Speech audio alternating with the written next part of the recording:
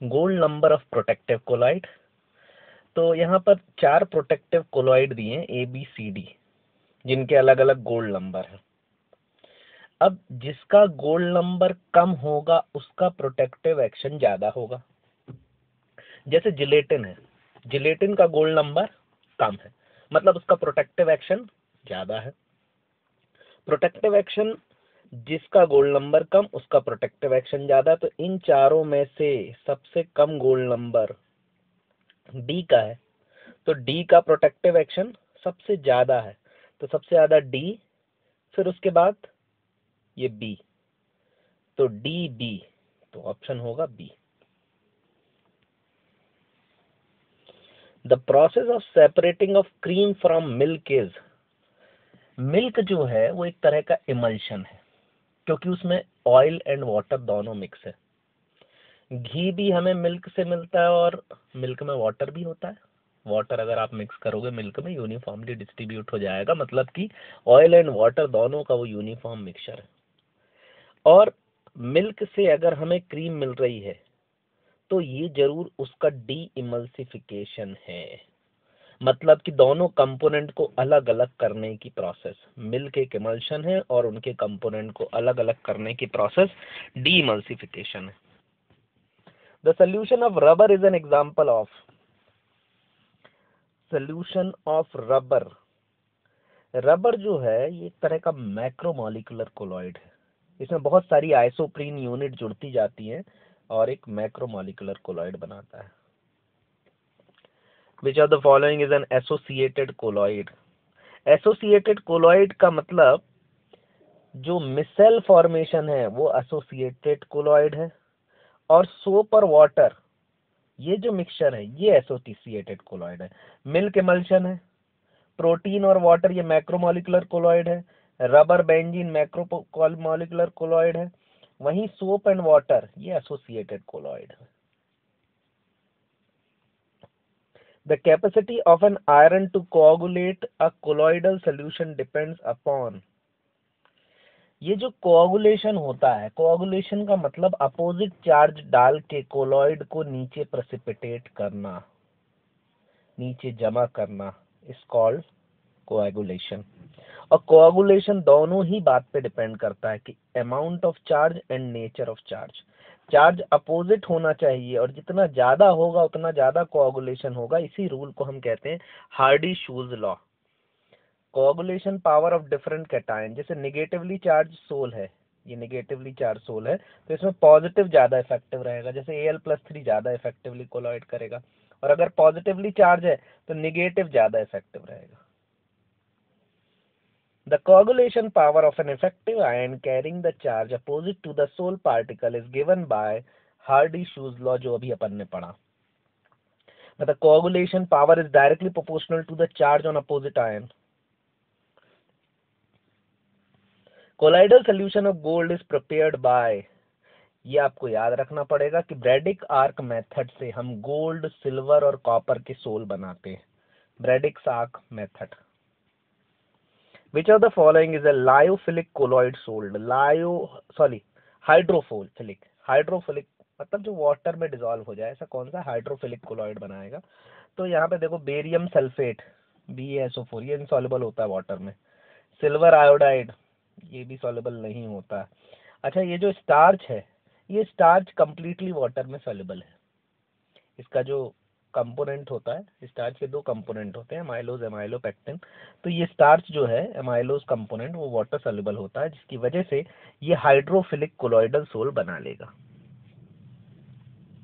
The presence of electric charge on colloidal particle is indicated by charge particle colloid particle जो है, वो charge particle है, और external electric field में वो मूव करेगा। कैथोड की तरफ़ कैटाइन जाएगा, एनोड की तरफ़ एनाइन जाएगा और इस फिनोमिना को हम कहेंगे electrophoresis electrophoresis is the movement of colloidal particle towards opposite electrode flocculation value flocculation value होती है मिली मोल्स में हम इसे नापते हैं। तो मिली मोल्स पर लीटर होती है फ्लॉकुलेशन वैल्यू तो फ्लॉकुलेशन वैल्यू की ये जो यूनिट है, इसकी डेफिनेशन से आपको और क्लियर हो जाएगी। फ्लॉकुलेशन वैल्यू क्या है? The minimum the minimum concentration in millimoles per litre of an electrolyte required to cause the coagulation of the sol is called flocculation value of the electrolyte तो यहाँ पर minimum concentration in millimole per litre तो ये इसकी unit हो गई। तो flocculation value की यूनिट है millimole per litre coagulation power को ही हम फ्लॉकुलेशन वैल्यू की टर्म्स में डिफाइन करते हैं। Fog is an example of fog fog में क्या है कि एयर ज़्यादा है लिक्विड कम है। जैसे एयर ज़्यादा मतलब गैस ज़्यादा और लिक्विड कम। तो liquid gas disperse in gas नहीं सॉलिड डिस्पर्स इन लिक्विड नहीं लिक्विड डिस्पर्स इन गैस बिल्कुल सही। लिक्विड गैस में डिस्पर्स है मतलब गैस ज़्यादा लिक्विड कम है। बिल्कुल सही। The substance which promote the activity of catalyst जो एक्टिविटी ऑफ़ कैटलिस्ट को प्रमोट करे, वो प्रमोटर है। जैसे हेबर्स प्रोसेस में अमोनिया बनने की जो प्रोसेस है, उसमें आयरन कैटलिस्ट है और मोलिब्डेनम प्रमोटर ये जो मोलिब्डेनम है, ये कैटलिस्ट की एक्टिविटी को प्रमोट कर रहा है। तो molybdenum is promoter in Haber's process whereas iron is catalyst which of the following is example of homogeneous catalyst आपको सारी रिएक्शन याद होनी चाहिए इसमें। अब जैसे अमोनिया हेबर्स प्रोसेस के थ्रू अमोनिया बनाने की जो प्रोसेस है, उसमें क्या है कि आयरन है। अब आयरन है तो आयरन तो सॉलिड है तो ये तो होमोजीनियस नहीं है, ये हिट्रोजीनियस है। इसमें आयरन डाल देंगे।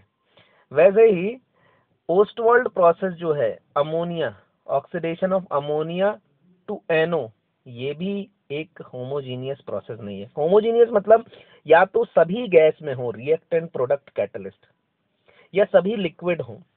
मतलब वो एक जैसा फ़ेज़ हो अलग अलग फ़ेज़ कहीं ना दिखे। तो होमोजीनियस कैटलिसिस में आपको सारे फेजेस एक जैसे होने चाहिए। SO2 प्लस O2 इसमें V2O5 डाल देंगे वेनेडियम पेंटॉक्साइड तो V2O5 सॉलिड है और ये दोनों गैसेस हैं। तो ये भी नहीं है, इसमें ये भी नहीं है और oxidation of SO2 SO3 in contact process ये भी सही नहीं है।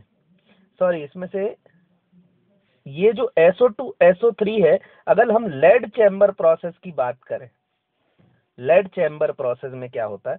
ये देखिए, यहाँ पर SO2 से SO3 के दो तरीके हैं। एक कॉन्टेक्ट प्रोसेस जिसमें हम क्या डालने वाले हैं? V2O5 वेनेडियम पेंटॉक्साइड जो कि सॉलिड है। तो ये तो नहीं होने वाला। अच्छा ये भी नहीं होने वाला। तो यहाँ पर SO2 और SO3 लेड चैम्बर प्रोसेस में क्या करते हैं हम? SO2 से SO3 बनाते हैं in presence of NO nitrogen monoxide तो सभी गैस होती हैं तो लेड चैम्बर प्रोसेस इसकी डिटेल में हम एक बार देख लेते हैं। Which are the following is example of homogeneous catalysis same same question है। बस यहाँ पर केमिकल रिएक्शन दे दी गई है। अब देखिए, ये ये गैस है, ये गैस है कैटलिस्ट गैस है, प्रोडक्ट गैस है, सभी गैस है, होमोजीनियस कैटलिसिस है। इसी को हम कहते हैं लेड चैम्बर प्रोसेस। अब यहाँ पर ये सॉलिड हो गया, बाकी गैस हो गए। ये सॉलिड हो गया, बाकी गैस हो गए। ये सॉलिड हो गया, बाकी गैस हो गए। तो ये तीनों ही क्या है? हिट्रोजीनियस हैं। बस SO2 से SO3 बनने की जो प्रोसेस है, वो होमोजीनियस है, क्योंकि उसमें सब गैस है। अब biological colloid is prevented from coagulation by अच्छा इंपॉर्टेंट क्वेश्चन है। जैसे मिल्क में ऑयल भी डिस्पर्स है। जैसे घी डिस्पर्स ही है। घी एक तरह का हाइड्रोफोबिक है। लेकिन वो वाटर में मिक्स है। तो वो mix uniformly top to bottom कैसे है? उसमें दो तरह की फोर्सेस काम कर रही हैं। इसको हम थोड़ा डिटेल में आगे समझते हैं। एक तो होता है पॉलीमेरिक स्टेबलाइजेशन पॉलीमेरिक स्टेबलाइजेशन यहाँ पर क्या है? आकर ये जो पार्टिकल है लग गए। अब मान लो ये हाइड्रोफोबिक पार्टिकल है और ये दूसरे भी हाइड्रोफोबिक पार्टिकल है तो ये एक दूसरे को रिपेल करेंगे तो एक दूसरे के साथ कोआगुलेट नहीं होंगे। कोआगुलेट नहीं होंगे तो नीचे सेटल नहीं होंगे। वैसे ही ये जो निगेटिवली चार्ज है, इसके चारों तरफ़ आ गया पॉजिटिव ये निगेटिव फिर इसके चारों तरफ़ आ गया पॉजिटिव अब ये प्लस ये प्लस एक दूसरे को क्या करेंगे? रिपेल करेंगे। तो यहाँ पर इलेक्ट्रोस्टैटिक रिपल्शन आ गया। यहाँ पर इसके पहले का जो एग्ज़ाम्पल है both polymeric and electrostatic stabilizers या चार्जेस अगर सेम आ जाएँगे तो भी एक दूसरे को रिपेल करेंगे, और उनके जो ऊपर पॉलीमर है, वो भी अगर आ जाएगा और एक दूसरे को रिपेल करेगा तो इसका आंसर बोथ होगा।